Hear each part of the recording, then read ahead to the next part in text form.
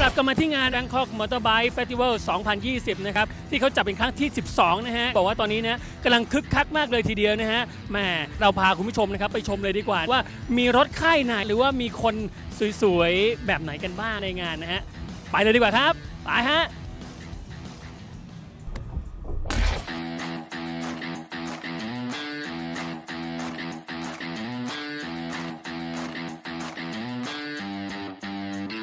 เดี๋ยวเรามาถามทางผู้บริหารนะครับของทางยามาฮ่าดีกว่านะครับว่าในงาน BMF ครั้งนี้นะครับมีอะไรที่น่าสนใจมาฝากคุณผู้ชมกันบ้างครับผมครับก่อนอื่นก็สวัสดีนะครับ ก็คือบูธยามาฮ่า Riders Club นะครับวันนี้เราจัดเต็มครับครับก็คือเป็นโปรแรงครับจากเดิมอืมโปรปี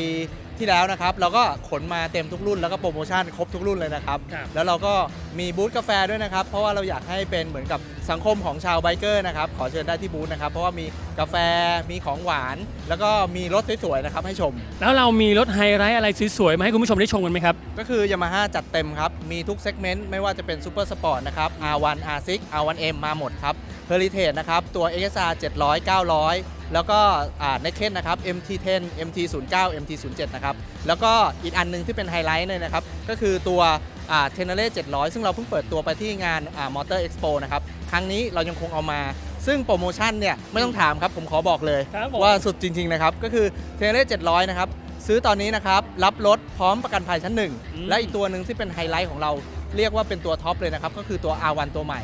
เราเอาใจนะครับลูกค้าของเราเพราะว่าเดือนมีนาเนี่ยเราจะมีการแข่งขัน เราเรียกว่า Yamaha Championship นะครับซึ่งลูกค้าเราเนี่ยก็อยากที่จะเอารถตัวใหม่ลงแข่งขันนะครับเพราะฉะนั้น R1 เนี่ยถ้าเกิดลูกค้ามีรถ R1 ไม่ว่าจะเป็นปีไหนสีไหนหรือรุ่นไหนนะครับเอามาแลกเป็น R1 ตัวใหม่ เราให้โปรโมชั่นเพิ่มอีก 30,000 บาทนะครับ